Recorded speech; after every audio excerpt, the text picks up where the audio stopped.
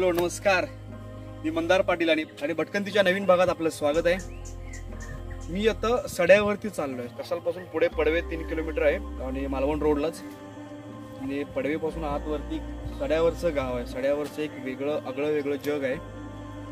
तिथं जाणार आहे मी. तिथं काही मोजकी घर आहेत आणि खूप असं निसर्ग सौंदर्यानं नटलेला प्रदेश आहे. सड्यावरचं जे आयुष्य आहे तिथल्या लोकांची जीवनशैली आहे ती आज आपण आजच्या भटकंतीच्या भागात बघणार आहोत. तुम्ही बघितलंय खूप मोठा चढ आहे. आणि आमच्या गाडीचं चेनिवेल केलेलं आहे. बरोबर ना? आणि हा पहिला चढ आहे. असे दोन तीन चढवरती चढत जायचे. प्रत्येक चढाच्या वेळी मला उतरावं लागणार आहे.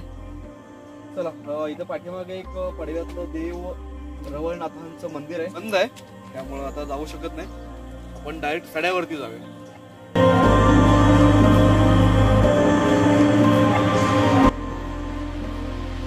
जांभ्या दगडांचा कच्चा रस्ता आणि सोबतीला दोन्ही बाजूला हिरवीगार झाडांची गर्दी.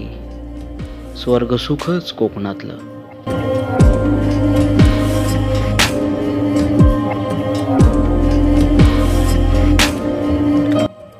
आता सड्यावरती आधी गाडी जात होती पण आता गाडी त्याच्या पाठीमागच एक दीड किलोमीटर अंतरावरती लावावे लागले. माहीत नव्हतं रस्ता असायचा रस्ता किती पावसामुळे खराब झालाय. आणि रस्त्याच्या मधोमध एक नाला तयार झाला तुम्ही बघता. आणि त्या नाल्यामुळे गाडीवरती जातच नाही. आता या उन्हातनं पायपीट करत तिकडे वरती जावं लागणार.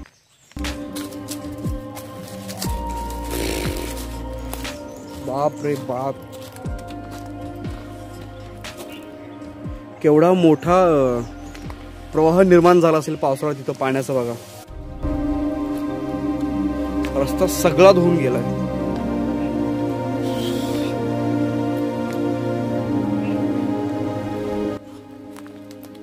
हा आता माझी जोरात बेकार हालत होणार आहे आता. लास्ट टाइम भटकंतीचा सेकंड एपिसोड बनवला होता ना तेव्हाही असंच झालं होतं त्याची आठवण आली. तर वरती धनगर बांधवांची घरं आहेत.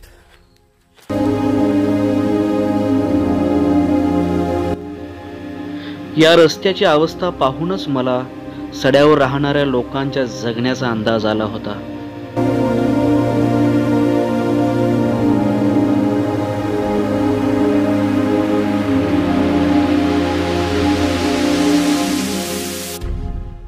आलं भूक लागली खूप.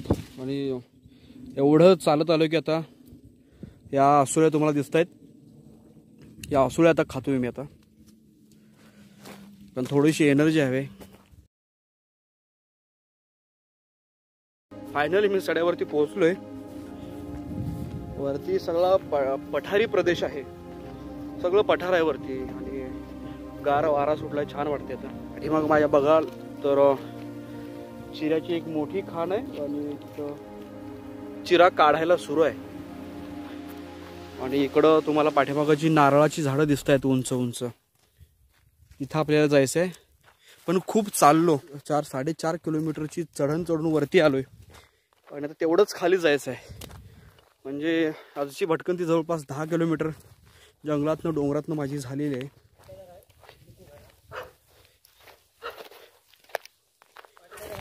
शाळेला जातेस? नाही. का? कुठे शाळेला जातेस पण मागे जवळच आहे. आता शाळा बंद आहे कसं वाटतंय? भारी वाटते खायचं आणि घरी बसायचं. नाव सांग तुझं. चैतन रमेश खाली. वर्षानुवर्षे पाऊस झेलून काळ्या झालेल्या कौलारू घरांनी आतून प्रचंड दुःख सहन केले सगळीकडे भयान शांतता. तरीही या निष्पाप डोळ्यात मला अपार कारुण्य दिसलं.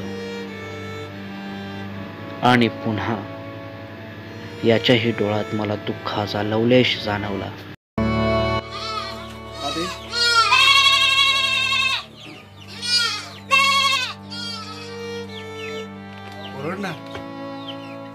कड्यावरती पोहोचलोय आणि इथली ज्या सगळ्या शेळ्या मेंढर आहेत सगळी चरायला गेलेत आणि छोटी छोटी त्यांची पिल्लं फक्त आहेत. तुम्ही बघू शकता त्यांना कसं ते दाबून ठेवलेलं आहे.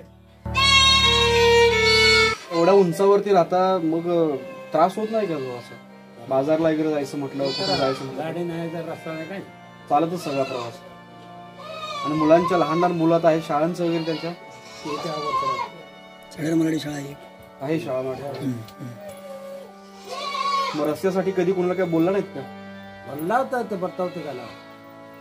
मग वोटिंगसाठी फक्त येतात मतासाठी फक्त येतात. हो हो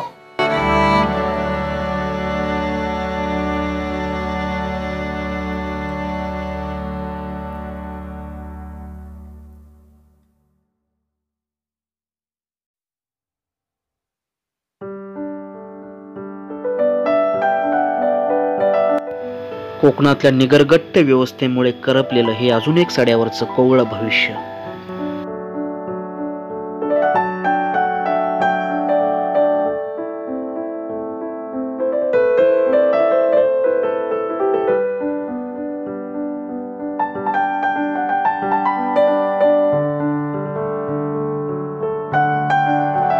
इथल्या भिंती छप्पर सगळे आयुष्याचे दुःख निमूटपणे सहन करत आहेत.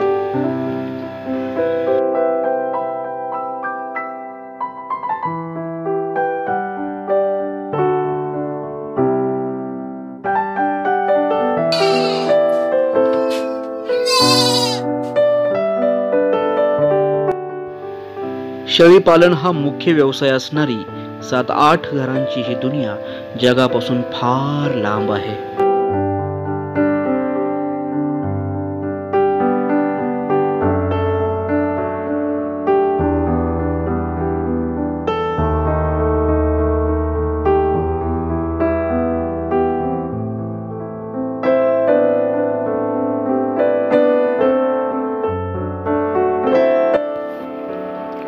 सड्यावरची बऱ्यापैकी तरुण माणसं मुंबईला चाकरमानी झाली त्यामुळं गावात लहान मुलं आणि वृद्ध माणसंच तुम्हाला बघायला भेटतील. त्यामुळे सात आठ वस्तींचा हा सडा भर दिवसा देखील सुनसान वाटत होता.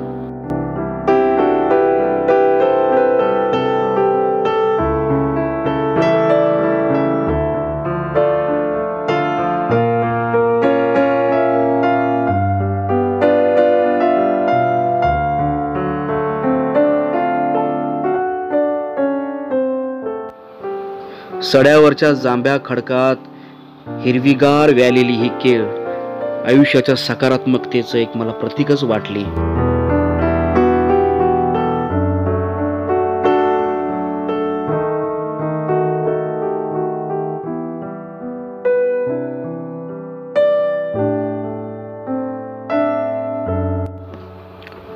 सड्यावरचं दुःख काळजात ठेवून आम्ही परतीचा प्रवास केला. आणि येताना वाटेत टम्म फुगून आलेली जनावरं दिसलीत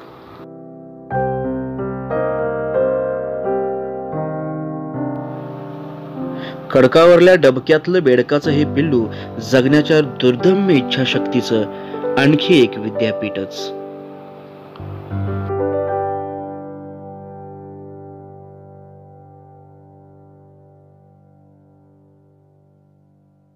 काय राव तुमचं? हा? धाकुराम खाली. धाकुराम खाले. फाले फाले. किती वर्ष झालं शेळी पालन करताय? आता झाली पैसे चार भेटतात चांगले? हे भेटतात मरतच जातात. मग बाकीचं काम काय याच्या व्यतिरिक्त? हं? याच्या व्यतिरिक्त बाकी काय काम करताय? बाकी काय नाही. फक्त शेळी पालनच. शेळे पालन किती आहेत? शेळ्या किती आहेत? शेळ्या ह्या तिघांच्या आता तिघांच्या एवढ्या? होय. तिघांचे कोण भाऊ वगैरे आहेत की? भावांचे भावांचे. मग आता किती वाजता परत? आता सात वाजता. इथं सड्यावरती राहताय कसं वाटतंय? हं? सड्यावरती राहताय तर कसं वाटतंय? तर मग काय या का बरं? काय बरं नाही. म्हणजे? अच्छा वा- काय आवाज त्याला हिरव्यागार दिसत असलेल्या इथल्या निसर्गाच्या मुळातलं दुःख इथल्या व्यवस्थेला अजून कळलं नाही. हे स्वतंत्र भारतातलं एक दुर्दैवच म्हणावं लागेल.